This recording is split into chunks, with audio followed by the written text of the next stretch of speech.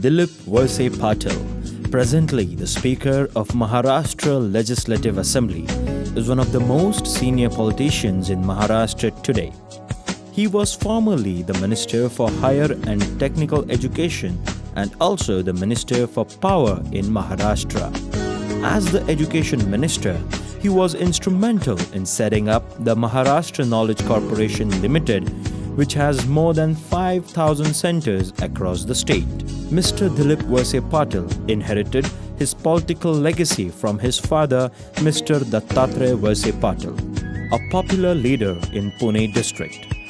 Mr. Dilip Walse Patil began his career as a personal assistant to Mr. Sharad Pawar and has developed his political acumen under him.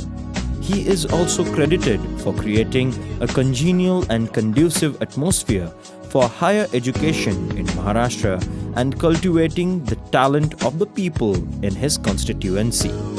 It's an honor to welcome the foresighted politician, Mr. Dilip Walse Patil, to the 3rd Bharatiya Chhatra Sansad.